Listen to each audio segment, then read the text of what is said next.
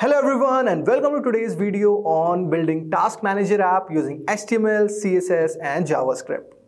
In this web application, what we are going to do, we will be able to add a task using you know any task which you want to do suppose say you have to study around at 10 pm so you can add that task and a new dashboard will be created for you where you can see on what time you have created your task. You can delete the task and you can click on the completed button if you have completed that required task. If you want to learn how to create a simple and elegant application like this, watch this video till the end.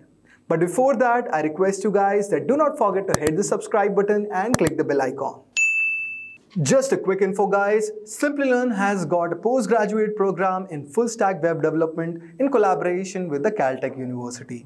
In this course, you're going to learn the modern coding techniques with the bootcamp level intensity and gain all you need to be a full stack technologies.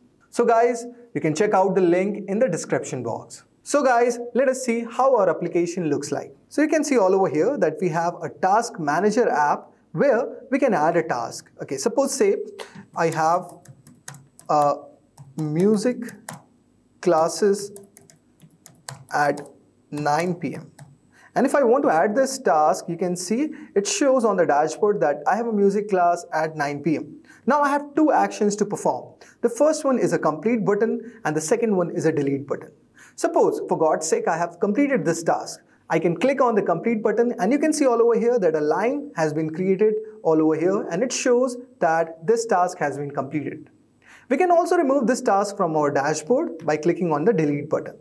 You can add n number of tasks, suppose say music, study, gaming, and say coding.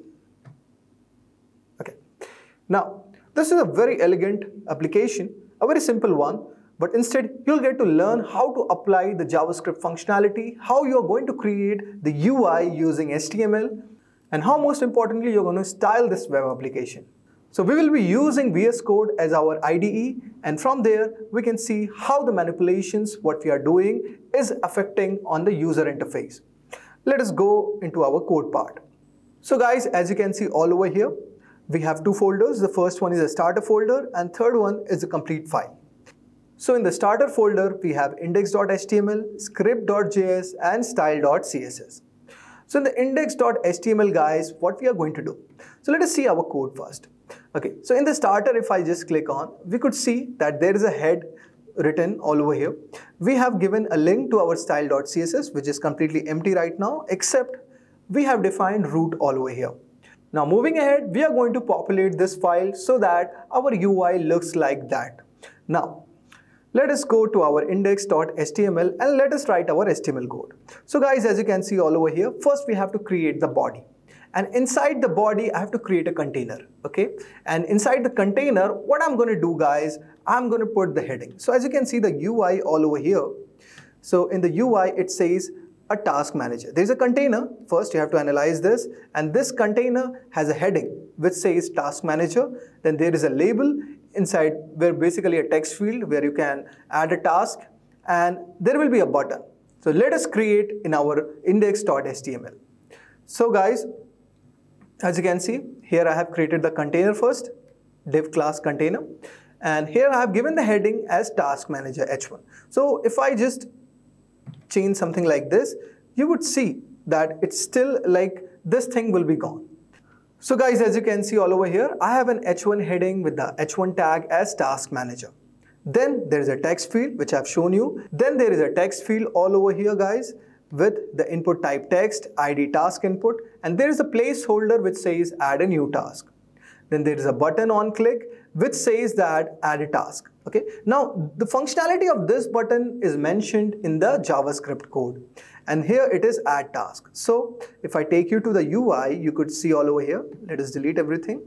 Okay. So h1 tag is for the task manager. Then there is an input text field which is given all over here. Okay. There is an ID task input and I have applied a placeholder also which says add a new task. So placeholder means something like which is visible all over here. So you can overwrite this and if it's empty, it says add a new task. So that's what placeholder means. Now guys, let us see what's the next thing. We have created the button. Now, on clicking the button, okay, there's a functionality added, okay. And this functionality or this function, like adding a task, it's been mentioned in the JavaScript file, which is script.js. So we have to complete this function, okay. Now, then I have created a task list with the given unordered list with its ID as task list. So suppose if I'm adding, uh, suppose say, let me show you. So suppose I've added a task music. Okay. Now I have created sports. Okay. So all these files are getting updated one by one. So the unordered list is keeping adding as we are adding up the task. So that's what logic I have written all over here that with a particular ID of the task which we are adding, okay, so this should be added in the unordered list. Now, so this is our front end part and it's complete. Just few four or five lines of code. Okay, now you can see all over here there is a script.js file which is basically for styling. So let us look how we have styled our components. Okay, now for styling purposes what I have targeted with the class name. See how our container is going to look like. Container means guys the this end part. The white end part is called container. Okay, so let us see how we can add the code or how we can style it using CSS. So guys all over here we have style.css okay now it's completely empty. Let's populate this file. So in the style.css, I have something called container. Okay, so there is a body. Okay, let's add first about the body, which is a default code only. So let's copy this and paste it all over here.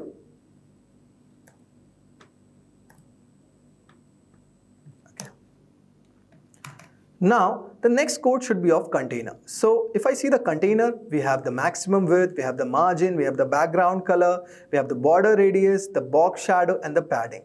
So these are the various attributes that I've applied to my container so that my container looks like this. Okay. Now, similarly, I have applied my h1 tag and you can see my h1 tag is kind of blue color. So see the primary color, dark color is mentioned. Now this is a variable which I've used as a variable and this variable has been declared all over here which is blue.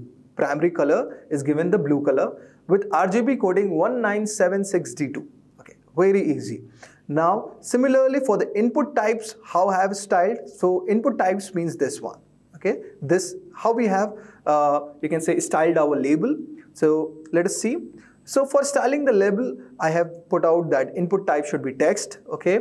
The width I have calculated using the calc function and its range is around 100% which says approximately to 80 pixels.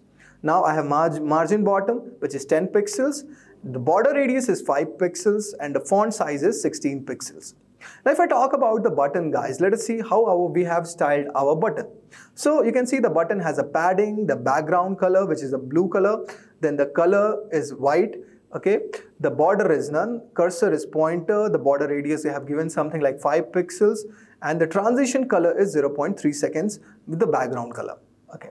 So let's see how this effect is being applied. So when we are hovering it, you can see the color is changing, okay. Now, when I'm clicking on this, it says please enter a task. Okay. Now, when you click on this, it's, it's a kind of a responsive uh, styling we have given all over here. So, which includes like, say, the transition most importantly. And then we have given what could be the font size which I have been written. It's 16 pixels, little bit of border radius and the background color we have given as blue. Very easy. Now for hovering it, I have changed this to primary dark color. Okay, this is the primary color. Primary color that means blue. The dark primary color is a dark version of this, which means this color. Now for the UL, you can see the unordered list, which is something like the list style type. So you can see the unordered list style type is none, the padding is zero, okay. Then for the li part, li means the list, okay. So for the list, we have given the padding, the margin bottom, okay, the background color, the display, how to justify the content. So we want the content in the center, okay. So, and similarly, the font size has been given as 16 pixels. So this is all the attributes that we have styled for our li component or li element. Now, when your task is completed, okay, suppose, let me show you. So suppose this task is completed, so there is a button all over here, okay, And I have added this logic with the help of JavaScript. Okay, this is an interactive logic. It's not mentioned in the index.html part. Okay, because this is coming dynamically. And as you add the task, this button pops up.